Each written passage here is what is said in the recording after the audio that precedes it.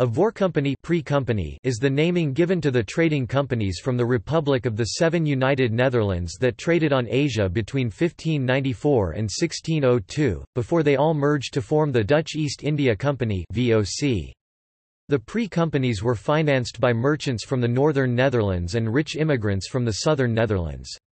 Because of the deadly competition, the government forced the smaller trading companies to unite and form the United East India Company, that on its turn received the exclusive rights for the trade with Asia for the following 21 years.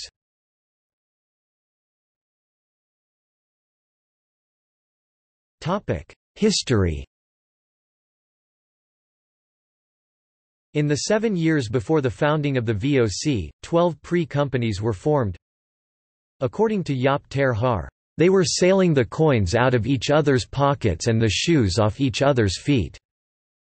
In total 15 expeditions were sent between 1594 and 1601, excluding three troubled expeditions via North Cape Norway. Citations